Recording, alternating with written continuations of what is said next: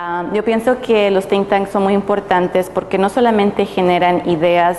progresistas que son muy relevantes al debate nacional, sino también porque de esa manera eh, involucran al público en general en el, debate político. Ah, pienso que es muy necesario para eh, que la generación de ideas es muy necesario para revitalizar las democracias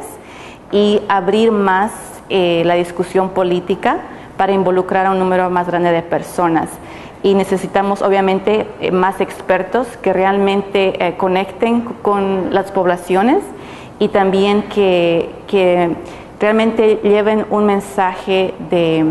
que no sea actualizado solamente en términos de los temas políticos, pero que también motive a la gente y de esa manera podamos construir un movimiento a largo plazo que sea progresista y enfocado en el bien común. Yo estoy muy impresionada con eh, la Fundación Pensar. Pienso que me he quedado muy impresionada por la calidad de, los expertos,